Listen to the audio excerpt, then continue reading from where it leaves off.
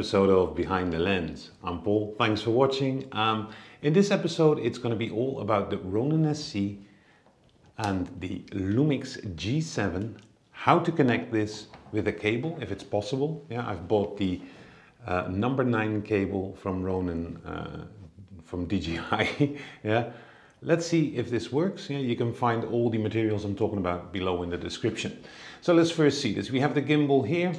Yeah, and as you can see here, the actual connection point is here on the horizontal. Let's put it in here and it's important to know on your uh, G7 on the side here, there is a remote control entry in because it allows you to remote control.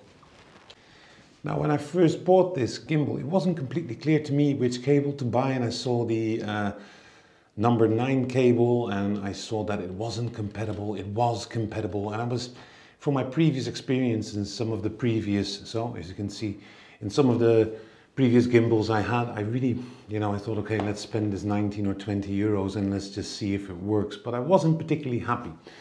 Yeah, so as I've just, you know, you first control it here, you first enter the little remote option.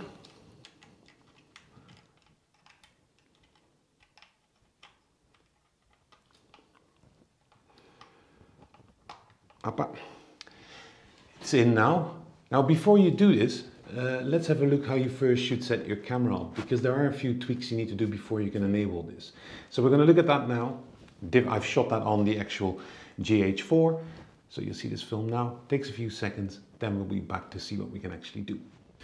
So how to set up your camera, first switch it on, going into your menu button here, yeah, and then you see basically, you see the four menus, you go in here to the little wrench, you go to the second page and you see here USB mode, yeah.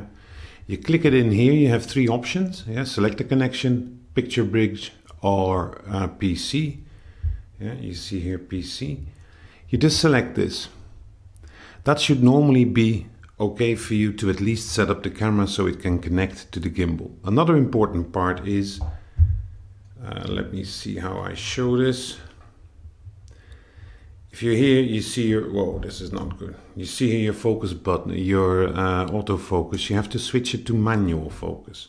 Once you do this, your G7 is actually ready to go. So now let's continue connecting and see what we have. Okay, you've actually seen that, so uh, let's see now if we can start this up. Let's start up the camera first, and then the gimbal.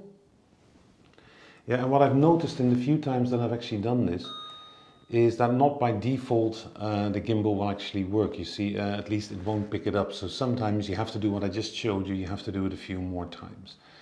So if we really start looking at this here, we're going to do it now here. If I now push the button, yeah, you see it clicking here and it actually works. So with this, you can actually control your uh, gimbal with and connect your gimbal with uh, your Lumix G7. I'm glad that you can connect it. Now, one of the things is, compared to all the other gimbals, is very simply put, uh, what can you really do with it? Now and that is where things can become interesting. You can of course start and stop it which i'm doing right now. Um, you can capture a photo. You can do this also via the app.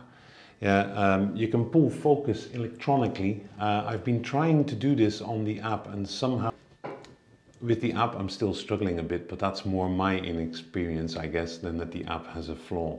I've tried the panorama function which was really working.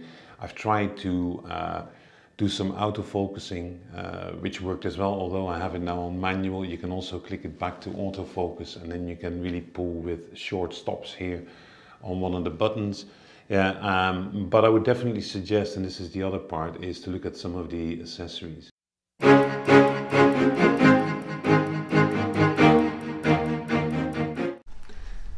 Now, one of the other things about accessories is um, with any gimbal you can buy a ton. So I've linked a few here in the description below, but I think two really stand out. First of all is a little focus motor you can buy, um, which I think here, once you uh, disconnect this here on the side, you see a few points here where you can have this focus motor on and you can control the focus here um, electronically, not via your telephone, which I think is uh, a big selling point. The other one is speaking of, of your uh, app and control, there's also something called a uh, Ronin command. I think they call it a command hub or center. Anyways, that means that you can control your gimbal without having to use your phone, which is pretty awesome. Now, I'm thinking of buying the electronic focus because having my mobile phone here and I can do it, I know, but I don't think in the end um, it will benefit anybody. So I think I'm, I'm going to make my life easy. For the command center, I haven't decided, but I think it's a bit pricey, but it's pretty good. So I think the key accessory here, if you really look at it, is your little cable, description in the link below. Um, you can also buy then the electronic focus, which has a similar, uh, um, yeah, I would say beneficial effect almost.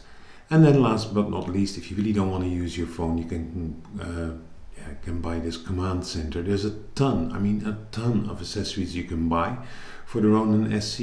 Most of them are compatible as well with the Ronin S, so that you know for the future might actually help you a bit. Yeah, and with that, um, we're at the end of this uh, episode. Yeah, I hope you uh, you enjoyed it. I didn't enjoy making it simply because uh, my uh, this one here my Rode mic was without battery, so I had to redo everything. Uh, an upgrade to my Filmora took about an hour and a half, so that's gone as well. And then it took an hour to upload a simple file uh, before I could edit it. Then I came back here and I saw that my other, uh, my simple, very cheap $20 Boya mic had also died.